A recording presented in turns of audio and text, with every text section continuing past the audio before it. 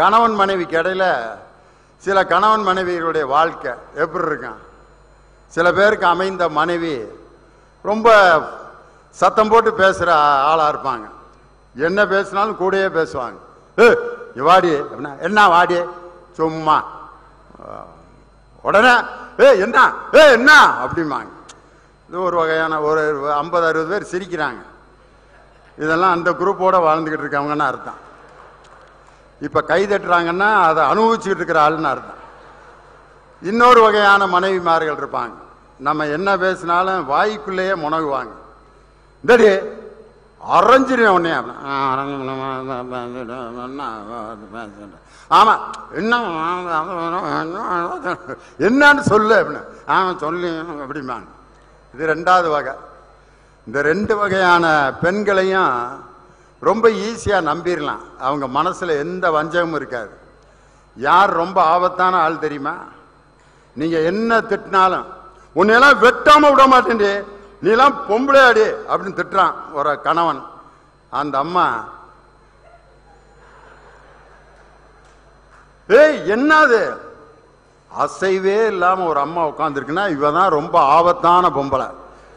புருஷனை எந்த நேரம் வேணாலும் விஷம் வச்சு கொண்டுருவா சீரியல் க கதாநாயகி மாதிரி.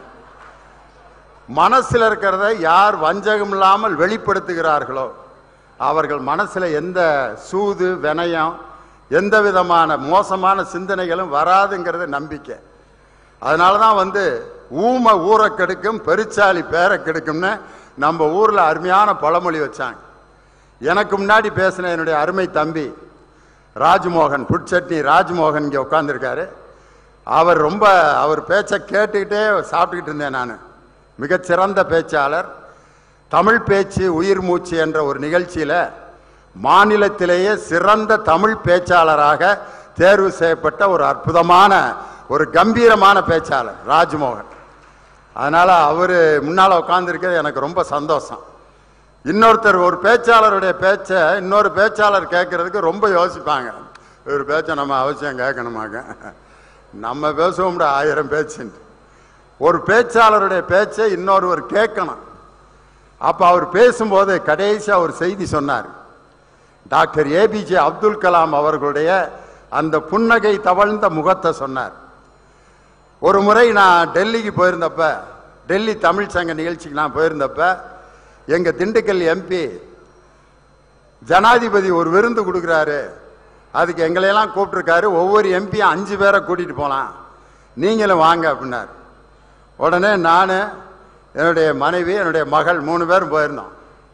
போய் அந்த ஜனாதிபதி கொடுக்குற விருந்துக்கு திடீர்னு எனக்கு ஒரு வாய்ப்பு கிடைச்சி எல்லா எம்பிக்கள் மந்திரிகள் டா- டா- அப்த- அட்டல் பிகாரி வாஜ்பாய் ஐயா இப்போ பிரதமர் உள்துறை அமைச்சராக எல் கே அத்வானி அன்னைக்கு வந்து குடியரசுத் தலைவராக டாக்டர் ஏபிஜே அப்துல் கலாம். நான் அந்த கூட்டத்துக்குள்ள அப்படியே முண்டி போய் அவரை பார்க்க போறேன். கண்டிப்பா ஒரு தமிழனுங்கிறதுனால நம்மளை பார்த்து கூப்பிடுவாருன்ட்டு. அந்த கூட்டத்தில் அப்போ ஐம்பது பேர்த்துக்கு நடுவில் என்னை பார்த்துட்டாரு. லியோனி இங்கே வாங்க அப்படின்னார். நான் என் மகளை கூப்பிட்டு போய் வணக்கம் அப்படின்ட்டு என்னுடைய மகள் அப்படின்னா என்ன ஆக போற? அப்படின்னு கேட்டார். டாக்டர் ஆக போறேன் அப்படின்னு சொன்னிச்சு என் மக. அதுக்கு அவர் சொன்ன பதில் எல்லாரும் டாக்டர் ஆயிட்டா அப்புறம் யார் நோயாளி ஆகிறது? அப்படின்னார். ஒரு ஜனாதிபதி ஒரு சின்ன குழந்தைகிட்ட ஒரு கேள்வி கேட்டு அவ்வளவு பெரிய பரபரப்பான இடத்துல அந்த குழந்தையின் பதிலுக்கு தானும் பதில் சொல்லி தன் மகிழ்ச்சியை ஒரு குழந்தையிடம் பரிமாறிக்கொண்ட ஒரே ஒரு குடியரசுத் தலைவர் நமக்கு கிடைத்தவர் பாரத ரத்னா டாக்டர் ஏபிஜே அப்துல் கலாம். அவரை பற்றி தம்பி சொல்லும் பொழுது எனக்கு இந்த சம்பவம் ஞாபகம் வந்தது. ஒரு காலத்தில் நம்ம வாழ்ந்த குடும்பங்களெல்லாம் இன்னைக்கு நினச்சி பார்த்தா ஆச்சரியமாக இருக்கு. எங்கள் தாத்தா பாட்டி காலம். டேய் அப்பா எங்கள் தாத்தாவும் பாட்டியும் பகல் முழுதும் சண்டை போட்டுக்கிட்டே தான் இருப்பாங்க. எந்த நேரம்? எங்கள் பாட்டியை திட்டிக்கிட்டே இருப்பார் எங்கள் தாத்தா. உன்னையெல்லாம் போடு. முன்னால் நிற்காத நீலாம் ஒரு உன்னையெல்லாம் கட்டினதுக்கு பேசாமல் இருந்திருக்கலாம். ஆ உன்னைய கட்டினதுக்கு நான் சும்மா இருந்திருக்கலாம். நீ அதெல்லாம் ஒரு ஆம்பளை. இப்படியே தான் பகல் முழுவதும். பகல் முழுவதும் சண்டை போட்டுக்கிட்டே இருந்த எங்கள் தாத்தாவுக்கும் பாட்டிக்கும் பதினாறு பிள்ளைங்க அதுதான் எனக்கு பெரிய மர்மமா இருக்கு இன்னைக்கு. எந்த நேரமும் சண்டை போட்டுட்டு எப்புட்றா? அப்படின்னு நான் ரொம்ப எனக்கு புரியாத புதிரா இருந்துச்சு. மூணு வயசுல எங்கள் தாத்தா போய் கேட்டே விட்டேன் நான். எப்படி தாத்தா? பதினாறு பிள்ளை. அதுக்கு எங்கள் தாத்தா மூணு வயசு பய என்கிட்ட இப்போ சொன்ன பதில் எல்லாம் ஆண்டையும் பார்த்து கொடுக்குறது தான் அப்படின்னார். கடவுள் கொடுத்தாராம் பதினாறையும் நான் நம்பிட்டேன் மூணு வயசில். இப்போ நினைக்கிறேன் கிழமை எவ்வளவு விசக்கிழவனா இருந்திருக்காரு எவ்வளவு பவர்ஃபுல்லான ஆளாக இருந்திருக்காருன்னு இப்போ யோசிக்கிறேன். பாட்டியை ஒரு நிமிஷம் நிம்மதியாக இருக்க விடாமல் பதினாறு புள்ள ரெகுலர் இன்டர்வல்ல கல்யாணம் முடிஞ்சு பத்தாவது மாதம் ஒரு குதிரை வண்டி வீட்டு முன்னால் வருமா? எங்கள் பாட்டியை ஏற்றிட்டு மூணாவது நாள் குழந்தையோட வந்துடும் பாட்டி. திரும்ப அடுத்த பத்தாவது மாதம் குதிரை வண்டி அதுவாக வந்துருமா வீட்டுக்கு வண்டிக்காரன் கூப்பிடுவானா பாட்டியா? பா அம்மா வாங்க. உனக்கு எப்படா தெரியும்? எல்லாம் சரியாக இருக்கான். பெருசு முன்ன பின்ன ஏதாவது ஒரு நாள் முன்ன பின்ன இருங்க வாங்க. பதினாறு பிள்ளைய. எப்படியா? யோசிக்கவே முடியல. எங்கள் பாட்டியை கேட்டால் எப்படி பாட்டி பதினாறு பிள்ளை பெத்த? ஏன் பதினாறோட நிப்பாட்டிட்டேன்னு கேட்டா பாட்டி சொல்லுது அதுக்கப்புறம் உங்க தாத்தா பர்மாவுக்கு போயிட்டாரு அதனால தான் தாத்தா பர்மாவுக்கு போலன்னா இன்னும் பதினேழு பதினெட்டு பத்தொன்பதுன்னு போயிட்டே இருந்திருக்கு இன்னைக்கு அப்படி ஒரு வாழ்க்கையை நினைக்க முடியுதா நமக்கு? பதினாறு குழந்தைகள். ஒன்று ரெண்டுக்கு அவன் அவன் படுற பாடு. அடாடாடாடா அதுவும் இப்போ இருக்க நிலைமையில் உருப்படியான ஒரு சாப்பாடு இன்னைக்கு சாப்பிட முடியுதா? வெங்காயம் அது படுத்துற பாடு பாருங்க இன்னைக்கு. உருப்படியான வெங்காயம் இன்னைக்கு சாப்பிட முடியுதா? முட்டையை வந்து அவனா உருவாக்கி இருக்கான் ஒரு முட்டையன்னு பயன்படுத்துறாங்க எல்லாம். இது வந்து கோழி விட்ட முட்டை இல்லைங்க. இது மிஷின்ல செஞ்சதுங்கிறான் இன்னும் கொஞ்ச நாள் மனுஷனையே செஞ்சிருவாங்க போல இருக்கு. அந்த அளவுக்கு செயற்கையான வாழ்க்கையை நோக்கி இன்னைக்கு போயிட்டோம். கிராமத்து வாழ்க்கை அந்த இயற்கையோடு கலந்த வாழ்க்கை இன்னைக்கு இல்லாமல் போச்சு. அதனாலதான் எங்கே பார்த்தாலும் செயற்கையான ஒரு செயல்கள் நடந்துட்டு நாளைக்கு இந்த குமாரபாளையம் மெயின் ரோடு இந்த பவானி ஆத்து பாலத்தில் பாருங்கள் காலையில் அஞ்சரைல ஆறரை வரைக்கும். இந்த ஊரில் இருக்க விஐபியில் பூரா டவுசரு கேன்வாஸோட பார்க்கலாம். எல்லாம் எங்கே போயிட்டுருப்பாங்க எங்கே போயிட்டுருக்கீங்க போய்கிட்டு இருக்கேனாப்பா. ஏன் போகிறேன் போகலைன்னா போய் சேர்ந்துருவேன்ட்டாரு டாக்டரு. அதான் கிளம்பி போகிறேன் வயிறு அவருக்கு முன்னால் போயிட்டே இருக்கு இவரும் துரத்தி போகிறாரு அதை பிடிக்க முடியல. யாரையும் அந்த யோசனை சொன்னது? டாக்டர் தான். அவர் எங்க? அவரும் பின்னால் வயிற்ற தள்ளிட்டு வராரு பாரு. யோசனை சொன்ன டாக்டரும் தொப்பையை தொங்க போட்டு அவர் பாட்டுக்கு வர்றார். இன்னைக்கு மனுஷனுக்கு பெரிய பிரச்சனை எதுன்னா வெயிட்டு குறைக்கிறது தான். யாரை கேட்டாலும் சார் எண்பது கிலோ இருந்தேன் சார். நாலு குறைச்சிட்டேன். எழுபத்தி ஆறு. அப்படியா? கங்க்ராச்சுலேஷன் நாலு கிலோவா? எப்படியா? அப்படின்னா அவர் பெரிய டயட்ல இருந்த வரலாறுலாம் சொல்லுவார். காலையில் நாலே இட்லி தாங்க. மத்தியானம் ரைஸை தொடுறதே இல்லை. ஈவினிங் நாலே நாலு சப்பாத்தி. இந்த டயட்டை ஃபாலோ பண்ணேன். நாலு கிலோ குறைஞ்சிருச்சு. அப்படியா? நாலு கிலோ குறைஞ்சதுக்கு ஒரு பார்ட்டி வை. அப்படின்னு நைட்டு உட்காந்து சிக்கனு அது இது மேட்ரு எல்லாம் வெளுத்தாங்க திருப்பி நாலு கிலோ ஏறிக்கிருச்சு. ஏத்த இறக்க ஏத்த இறக்க என்ன பொழப்பு பாருங்க ஒரு ஆம்பளையோட பொழப்பு. ஆண்களுடைய வேதனை இப்ப இருக்குன்னா பெண்களுடைய வேதனை அதை விட பெரிய கஷ்டம். ஒரு காலத்துல எல்லாம் பார்த்தீங்கன்னா அம்மிக்கல் ஆட்டுக்கல் துவைக்கிற கல் இதெல்லாம் இருந்துச்சு வீட்டில் கஷ்டப்பட்டு அம்மிக்கல்ல மசாலா அரைச்சி எங்கள் அம்மாலாம் சாம்பார் வச்சாங்க. எங்கள் அம்மாலாம் அம்மிக்கல்ல மசாலா அரைக்கும் போது எங்கள் அம்மாவுக்கு வேர்க்கும். அந்த வேர்வை என்ன செய்வாங்கன்னா இந்த ஆள்காட்டி விரலில் இந்த பெரு வலித்து அப்படியே மசாலையில் போட்டு இழுத்து அரைச்சிருவாங்க. அங்கே ஏசி ரூமில் உட்காந்து மசாலா அரைக்க முடியும். அந்த வேர்வையை போட்டு தான் மசாலா அரைச்சாங்க. சாம்பாரில் கொஞ்சம் உப்பு தூக்கலாக இருக்கும் எங்க அம்மாவோட வேர்வை கலந்த சாம்பாரை லியோனி பதினஞ்சு வருஷம் சாப்பிட்டேன். இன்னும் உடம்பு நல்லா தான் இருக்கு. ஒரு தாயின் வியர்வை ஒரு மகனுக்கு விஷமாக மாறியதாக சரித்திரர்ல அன்னைக்கு வந்து இயற்கையான ஒரு வாழ்க்கை. மாவை ஆட்டி தோசை சுட்டு அந்த ஆட்டுக்கல்ல அரிசி இதையும் ஊற போட்டு கையில் ஆட்டுற சுகம் இருக்கு பாருங்க.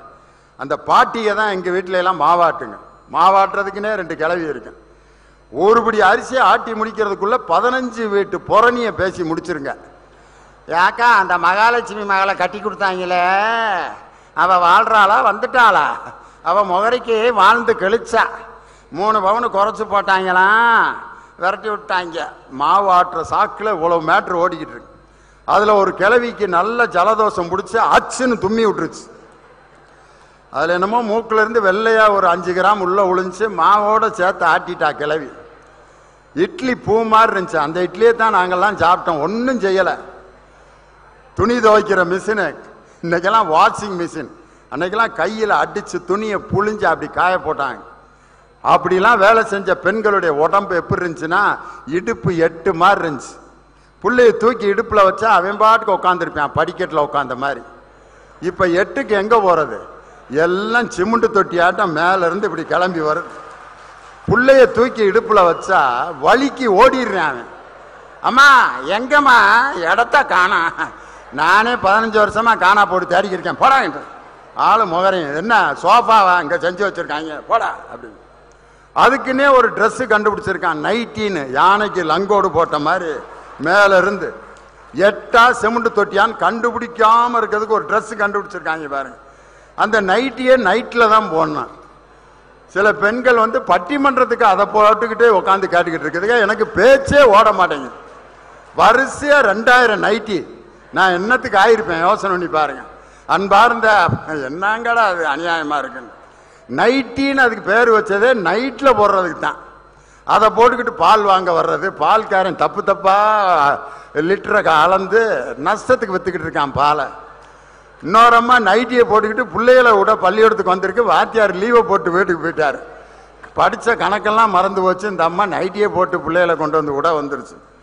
நாங்கள் அன்னைக்கு பட்டிமன்றம் நடத்த போகிறோம் ஒரு அம்மா நைட்டியை போட்டு மாடு மேய்ச்சிக்கிட்டு இருந்துச்சு. என்னம்மா அம்மா நைட்டி போட்டு மாடு மேய்ச்சிக்கிட்டு இருக்கா? அதாவது போட்டிருக்கேன்ல ஒன்னு யாரும் இங்கே பார்க்க சொன்னது? உன் வேலையை பார்த்துட்டு போன்னு இந்த நைட்டிங்கிற ட்ரெஸ்ஸு நம்ம உருவாக்குனதா? ஜீன்ஸுங்கிற பேண்ட்டு நம்ம கண்டுபிடிச்சதா? இந்த கோட்டு ஷூட்டு இது வந்து நம்ம நாட்டினுடைய பண்பாடா? இல்லை. இன்னைக்கும் பாருங்க இந்த வெள்ளைக்காரங்க நம்மள்ட்ட தள்ளி விட்டதை இன்னும் இறுக்க பிடிச்சிட்டு இருக்கான். இன்னைக்கு ஒரு ட்ரெயினில் டிக்கெட் பரிசோதகர் பார்த்தீங்க கருப்பு இது டை இது டை போட்டு கருப்பு கோட்டு போட்டு இப்படி வெள்ளை பேண்ட் இது யார் யா இன்னும் அதை ஒரு சாதாரண க கதர் சட்டையும் ஒரு பேண்ட்டும் போட்டு வந்தா என்ன? அந்த கோட்டு. அதை இன்னும் விடாமல் பிடிச்சி வச்சிருக்கான். இப்படி ஒரு டிடிஆர் வர்றாருன்னு வச்சுங்க வேஷ்டியை கட்டிட்டு ஒரு நாலு முளை வேட்டியை கட்டிட்டு ஒரு சட்டையை போட்டு ஒரு டிடிஆர் டிக்கெட்டு செக் ஏண்டா ரயில்வேல எதுவும் மாறுவேட போட்டி நடத்துறாங்களா? என்ன இப்படி இருக்கீங்க அப்படின்னு. அந்த ட்ரெஸ்ஸுக்கு நம்ம அடிமையாயிட்டோம்.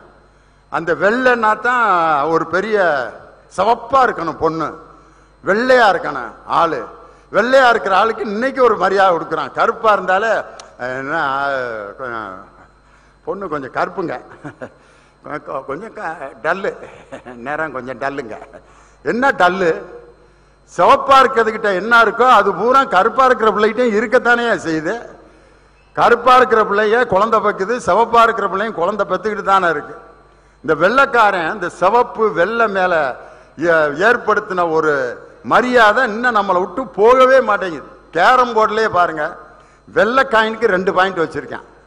கருப்பு காயினுக்கு ஒரு பாயிண்ட் வச்சிருக்கேன். எவன்டா வச்சது? மாத்துறா இனிமே நம்ம மாத்து. கருப்பு காயினுக்கு ரெண்டு பாயிண்ட போடு. வெள்ளைக்கு அரை பாயிண்ட போடுறேன் அப்பதான் கருப்பு மேல இருக்கிற ஒரு ஆசையே நமக்கு வரும்.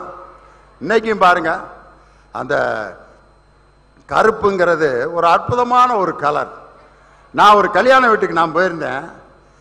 ஒரு ப- பொண்ணு மாப்பிள்ளையோட ஃப்ளக்ஸ் வெளியில் வச்சுருந்தாங்க. மாப்பிள்ளை பார்த்தீங்கன்னா அஜித் மாதிரி நல்லா செக்கச்சிவேன்னு இருக்கான்.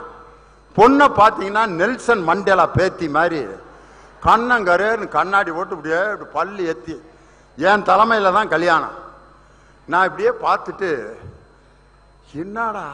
விசாரிச்சா லவ் மேரேஜ் ஒம்பது வருஷம் லவ் பண்ணியிருக்கான் அந்த பொண்ணை. எனக்கு ஒரே ஆச்சரியம் இந்த பொண்ணை எப்படா இவனால் லவ் பண்ணியிருக்க முடியும்?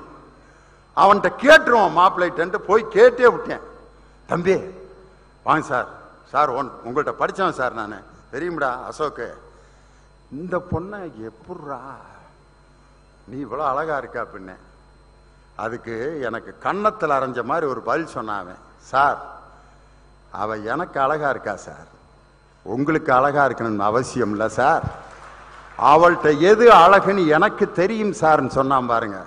அந்த இடத்துல அந்த மாணவன் எனக்கு எவ்வளவு பெரிய புத்தியை புகட்டினான் தெரியுமா? தன் மனைவியிடம் எவன் அந்த குறிப்பிட்ட அழகை ரசிக்க தெரிகிறானோ கல்யாணம் முடிஞ்சு மூணாவது நாள் கூட்டிகிட்டு வரும்போதே ஒருத்தன் மனசில் என்ன நினைக்கிறான்? இன்னொரு நல்ல பொண்ணாக கூட பார்த்துருக்கலாம். எங்கள் மாமகளை கொடுக்குறேன்னாங்க தெரியாமல் இதை கட்டிட்டு வந்துட்டேன்ட்டு பதினஞ்சாம் தேதி கல்யாணம் முடித்தவன் பதினெட்டாம் தேதி இப்படி நினச்சான்னா அவன் வாழ்க்கை என்னத்துக்காக யோசனை பண்ணி பாருங்க. வாழ்க்கையினுடைய நிலைகள் மாறிக்கிட்டே இருக்கு. வெறும் குடும்ப வாழ்க்கை மட்டும் இல்லை நம்ம ரசித்த விஷயங்கள் கூட இன்னைக்கு மாறிடுச்சு.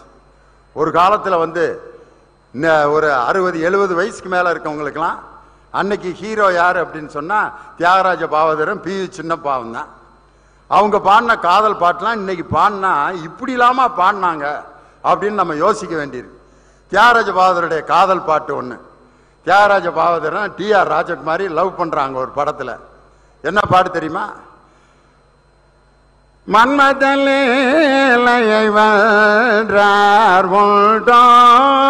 என் மேல் புனக்கேனோ பரமுகம் என்னுடனே நீ பேசினால் வாய் முத்துதிர்ந்து விடுமோ? உன்னை என் நேரமும் நினைந்துருகும். என்னிடம் வந்தால் மென கெடுமோ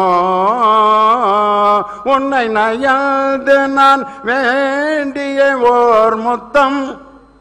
ரம்பா. சுவாமி அப்படிம்பார். தியாகராஜ பாவதர் டிஆர் ராஜகுமாரி இருபத்தி ரெண்டு அடி தூரத்தில் இருக்கான். இங்கேருந்து அப்படிம்பாரு இதை பார்க்கறதுக்கு எங்க அப்பா ஐம்பது தடவை போயிருக்காரு படத்துக்கு. எதுக்கு? ஃப்ளையிங் கிஸ் கொடுக்கறத பார்க்கறது. அது வந்து ஒரு பெரிய காட்சி அன்னைக்கு.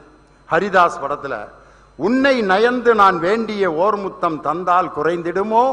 அப்படின்ட்டு டி ஆர் ராஜகுமாரியோட முகத்துக்கு நேரம் அப்படி கையை வச்சு அப்படிம்பாரான் முத்தம்னு வேற எழுதிட்டாராம்.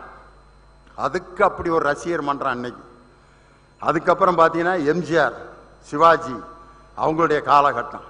எம்ஜிஆர் பார்த்தீங்கன்னா இந்த கையை ஆற்றுறதுலேயே உண்மையிலே இந்த இரண்டு கரங்களில் நடித்த ஒரு மிகப்பெரிய நடிகர் எம்ஜிஆரை தவிர வேற யாரும் இருக்க முடியாது.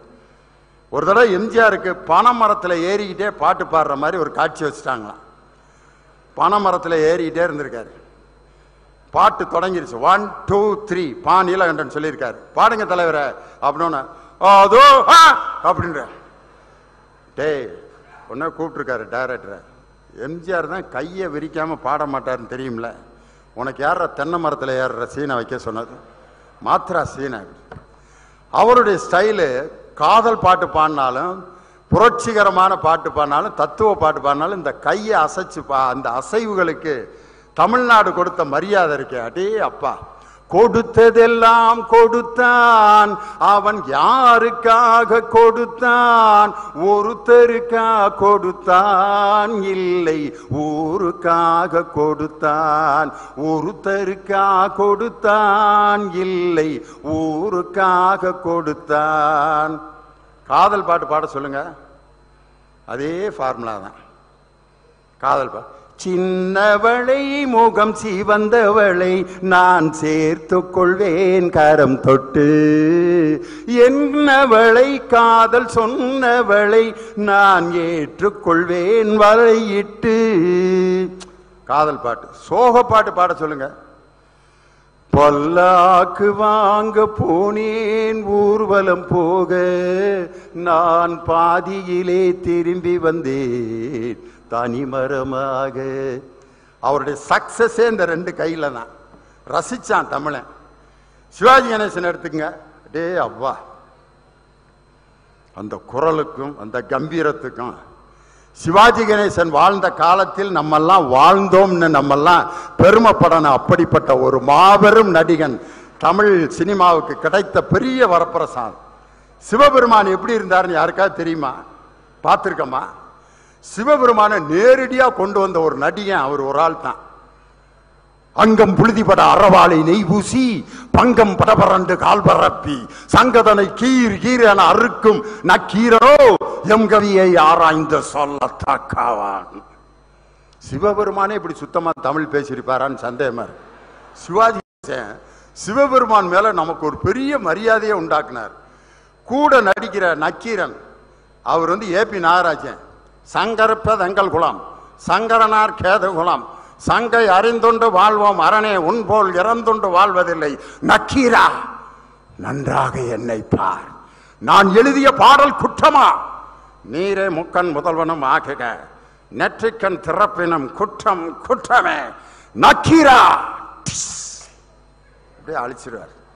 சிவாஜி கணேசன் நடிக்கலைன்னா சிவபெருமான் இப்படித்தான் இருந்தார்னு யாருக்காவது நம்ப முடியுமா? அப்படிப்பட்ட ஒரு நடிகர். அப்படி ஒரு காலகட்டம். அதே மாதிரி சினிமா தந்த மாதிரி ஒரு இசை. இசைங்கிற வார்த்தையே ரொம்ப அழகான ஒரு வார்த்தை. இசைதல் அப்படின்னு சொன்னால் ஏற்றுக்கொள்ளுதல்னு அர்த்தம். இசை அப்படிங்கிறது வந்து ஒத்துக்கொள்ளுதல். நான் சொன்ன கருத்துக்கு அவன் இசைந்தான். இசைவு தெரிவித்தான் அப்படின்னா ஏற்றுக்கொண்டான்னு அர்த்தம். அதனால் இசைக்கும் நம்ம வாழ்க்கைக்கு நெருங்கிய தொடர்பு இருக்கு. இந்த தகவல் உங்களுக்கு பிடிச்சிருந்தா லைக் பண்ணுங்க உங்க ஃப்ரெண்ட்ஸுக்கு ஷேர் பண்ணுங்க. மறக்காம எங்க சேனலுக்கு சப்ஸ்கிரைப் பண்ணுங்க.